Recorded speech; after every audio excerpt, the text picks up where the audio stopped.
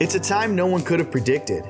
A time when we hunkered down and found out what we're made of. Adversity? Alaskans call that a time for opportunity, for creativity, for adaptability, for patience we never knew we had. It's a time for conquering limitations, and sometimes just trying to make it to 5 o'clock. It's a time for helping others because we are stronger when we're connected.